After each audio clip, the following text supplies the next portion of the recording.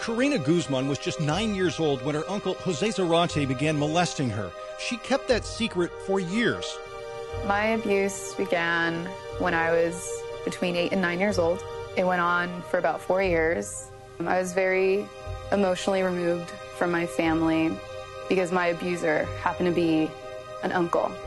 I've, I hired the nanny, and I wasn't protecting my kid. Lauren Book tells a judge how her nanny, Waldina Flores, changed her life when she sexually abused her since she was 12 years old. There isn't other people, there aren't witnesses. This is the crime that always takes place in secret.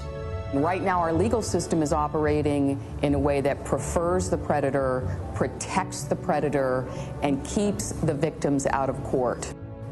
The response was so protective of the perpetrator, and it was so dismissive of the damage to a human life. And after the church's response, I sought out an attorney. When y'all look at a sexual abuse victim, look at them in their eyes and ask me if you still see the same person that you saw two, three years ago.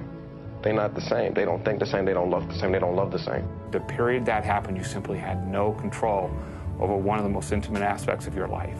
Often, all we have is the victim's account of what happened. Um, and we have to champion that. We have to go and advocate on behalf of that victim.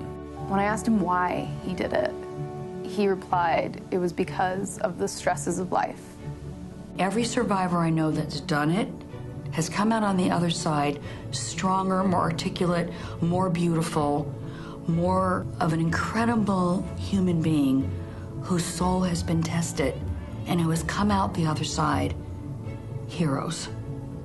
You know, a victim has to wonder is it worth it? And what we really need is victims to understand that it's always worth it because having voice matters, being heard matters, truth matters. Miss Flores, I hope you are haunted for the rest of your life. You raped me. You beat me. I cannot make you admit to what you've done to me or even feel remorse that you've done it.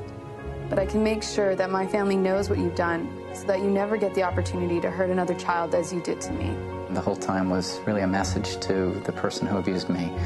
You silenced me once, but hear my voice now. Seeking that truth is the healing journey.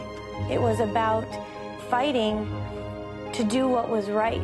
You know, because of your determination, that person will not be able to harm another kid.